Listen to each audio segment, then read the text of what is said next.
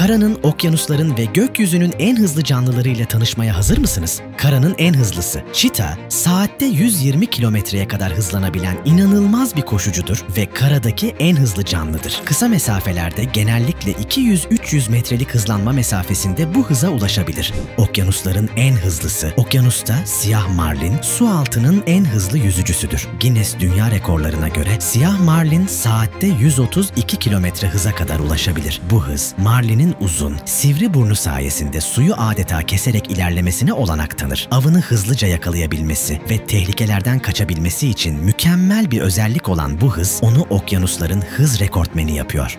Gökyüzünün en hızlı canlısı gökdoğan olarak bilinir. Gökdoğan avını yakalamak için yüksekten dalış yaparken inanılmaz hızlara ulaşır. Dalış sırasında saatte 390 kilometreye kadar hızlanabilen gökdoğan sadece gökyüzünün değil tüm hayvanlar aleminin en hızlı canlısıdır.